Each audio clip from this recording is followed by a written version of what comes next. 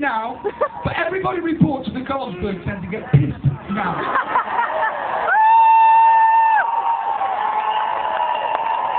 Tomorrow is National Robbie Day. And I can guarantee you that this show looks ten times better if you've got some of that in your belly. Come on! Should we have a bit of sin.